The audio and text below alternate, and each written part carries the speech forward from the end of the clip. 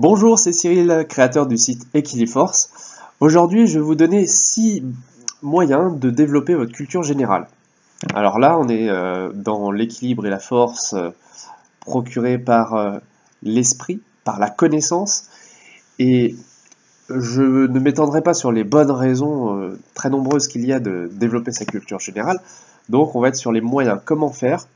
Si vous passez par exemple un examen, un concours ou comme moi si vous avez une émission télé à préparer, un petit indice en image, eh bien ça peut être vraiment très utile pour euh, développer votre potentiel et puis euh, retenir des informations.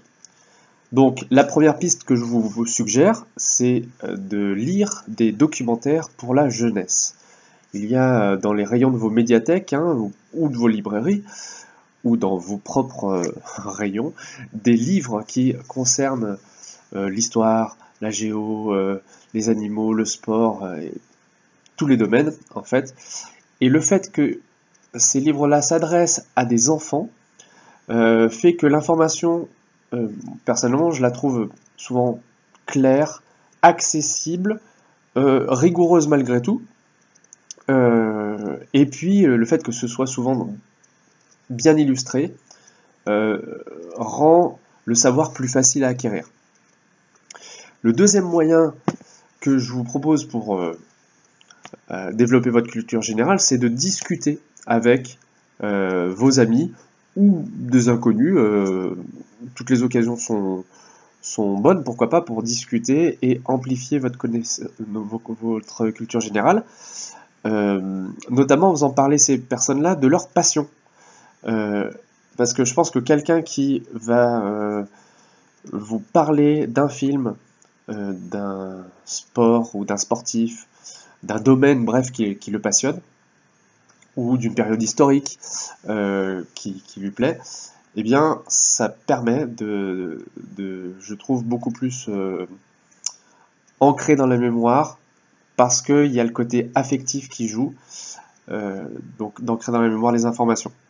Euh, idem euh, si euh, vous, voulez progresser en géographie, notamment géographie française, faites le tour un petit peu des, personnes que vous connaissez, puis essayez de, visualiser dans quel département elles habitent, quelle est l'histoire du lieu, voilà, des choses comme ça.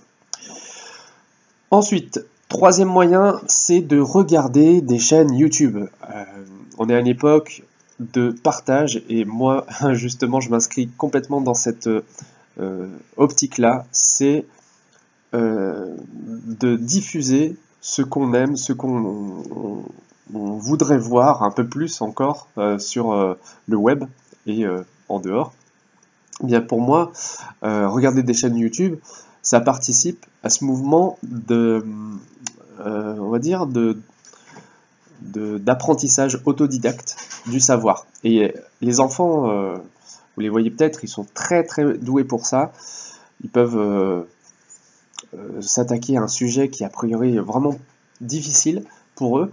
Et grâce à YouTube, alors bien sûr il y a du bon, il y a du mauvais, il y a, un tri à faire, mais on peut trouver de très bonnes choses. Alors, je vous donne quelques petites références que moi j'ai utilisées personnellement. Par exemple, dans le domaine de l'histoire géo, euh, j'ai regardé plusieurs vidéos de la chaîne Télécrayon. Télécrayon, ce sont des cartes. Euh, ça paraît enfantin comme interface, mais en fait, euh, voilà, ça s'appuie sur du, contenu historique vraiment précis. ensuite, pour le domaine mathématique, alors moi je suis plutôt littéraire de formation, donc les maths sciences pour la culture générale, ça fait partie des, axes que je peux euh, développer. Et donc, je vous recommande la chaîne NICMAT de Michael Launay, euh, qui, euh, qui vraiment vulgarise des concepts scientifiques et mathématiques comme peu de monde. Et je remercie vraiment tous ceux qui mettent au service des autres leur savoir. Voilà, des exemples, il y en a évidemment, vous allez chercher, vous allez trouver euh, forcément des gens qui font autre chose que du divertissement, mais qui peuvent aussi rendre le, savoir euh, intéressant. Donc, le, quatrième moyen, c'est d'écouter aussi des podcasts. Alors, on fait encore appel à la technologie sur Internet. Vous téléchargez des émissions qui peuvent être intéressantes, que vous ne pouvez pas toujours utiliser, enfin, suivre pardon, en direct.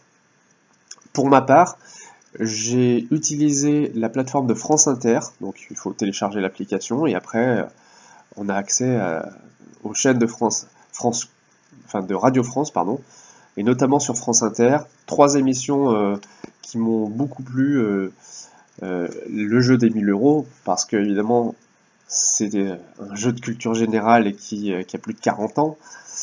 Et puis en plus, qui se déplace dans toute la France dans des petite bourgade, donc ça permet aussi de, connaître des, lieux euh, dont on n'a jamais entendu parler. Ensuite, euh, pour l'écologie, je vous suggère euh, le CO2 Mon Amour. C'est une émission avec Denis Chessou qui aborde l'écologie sous un angle très intéressant, je trouve, parce que il, il propose des solutions, il est un peu à contre-courant, euh, et euh, voilà, et ça me plaît.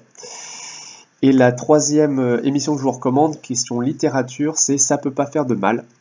C'est Guillaume Gallienne qui lit des extraits de, grands romans, soit d'aujourd'hui, soit des classiques.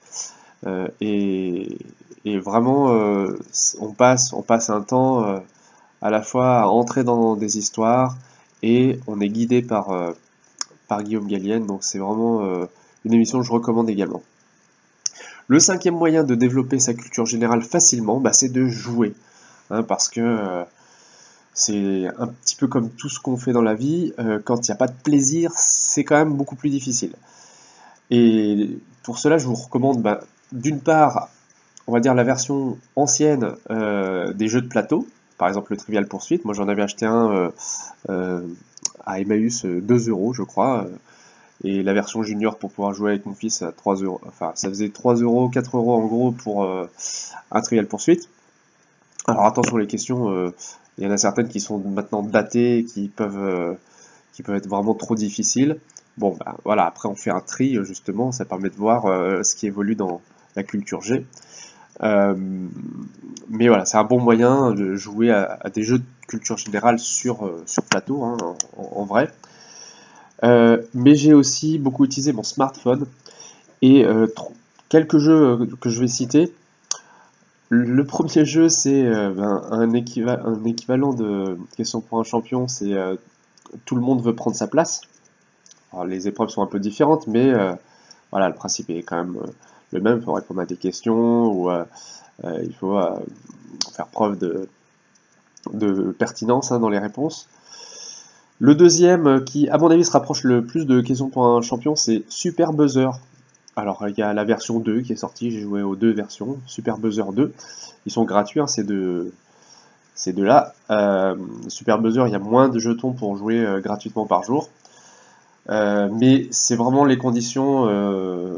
En gros, vous avez 6 candidats euh, pour la première manche, les deux derniers sont éliminés au bout de 5 questions.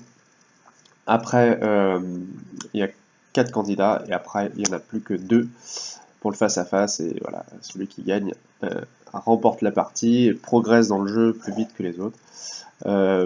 et en termes de, rapidité, de, difficulté de questions, c'est vraiment ce que j'ai retrouvé le plus proche de questions pour un champion. Il y a aussi Be The One, B-E-T-H-E ONE, qui euh, propose euh, euh, des, des, questionnaires thématiques. Là aussi, il faut essayer de faire un, zéro faute. Bon, j'ai pas énormément progressé dans ce jeu, voilà. mais pourquoi pas, je vous le donne quand même. Un petit dernier, c'est Quiz Rush, il vient de sortir. Enfin, j'ai testé la version bêta, après j'ai arrêté parce que j'en ai fait trop, trop fait, on va dire, et j'ai préféré me consacrer, par exemple, à la création de cette chaîne YouTube et à mon site Equiliforce. Quiz Rush. Euh, ça reprend un principe que je connaissais moi euh, il y a euh, plus de 10 ans maintenant, qui s'appelait Mon Légionnaire, où on incarnait un petit soldat qui faisait des courses. 12 questions qui étaient posées, et là c'est un peu pareil, il y a un certain nombre de questions qui sont posées, on fait une course, on, incarne plus, bah, ce sont des animaux dans Quiz Rush. Si on se trompe, on tombe, donc on peut passer ou prendre le risque de répondre si on ne sait pas, on, tombe donc on prend du retard. Voilà, ce sont mes suggestions. J'en ai une dernière euh, qui est plus d'ordre euh, méthodologique. Hein. comment faire pour, euh, dans, une fois qu'on a lu des ouvrages documentaires, parlé avec des amis, regarder des chaînes télé, écouter des podcasts et jouer à des jeux, mais comment on fait pour quand même que la mémoire retienne un petit peu tout ça? Eh bien, je vous propose une solution que vous avez sans doute pratiquée dans vos études, c'est d'utiliser un répertoire. Alors moi, personnellement, j'en avais deux. Euh, pourquoi? Parce que j'en avais un pour la maison et un pour le travail, parce que de temps en temps, lors de mes pauses, hop, j'allais euh, m'informer, euh, jouer pour pouvoir augmenter mes connaissances. Et donc, là, c'est c'est du tout venant. Hein. Là, si je vous lis la, la lettre A, j'ai par exemple les Armagnacs, euh, qui sont opposés aux Bourguignons, Akihito, 156e empereur du Japon, euh, les Asturies, euh, avec pour ville principale Riron et Oviedo, Aristée, c'est le fils d'Apollon, inventeur de pièges, enfin voilà. Là, on est vraiment dans des domaines très variés.